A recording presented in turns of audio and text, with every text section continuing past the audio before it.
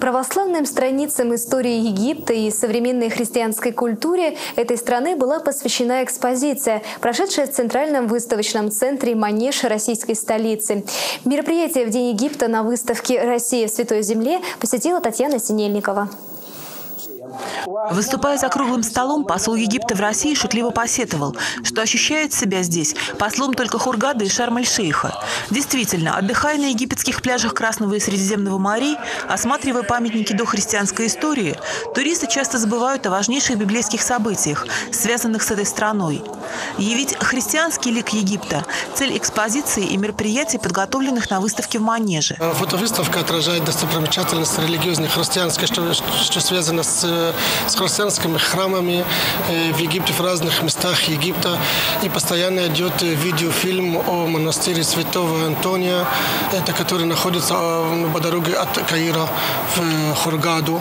Вот, и разнообразные еще фотографии святой, храм Святой Екатерины, полуостров Синай, гора Моси, полуостров Синай и еще другие по территории всего Египта. Кроме фото и книжной выставки, в египетском павильоне представлены образцы скульптуры разных эпох.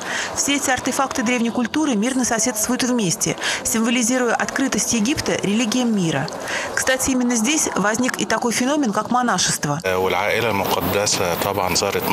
Кроме того, э, святое семейство, она посещала Египет, и она проходила в Египте очень долгое время, и это для нас является очень... Э, мы гордимся в Египте и мусульмане, и христиане. Тот факт, что у нас э, святая семейство была на, на территории Египта. После проведения круглого стола, на котором дипломаты, ученые, исследователи египетской истории и культуры, священники Копской православной церкви выступали с докладами о вчерашнем и сегодняшнем дне Египта, состоялся концерт музыкантов, исполнителей копских православных гимнов.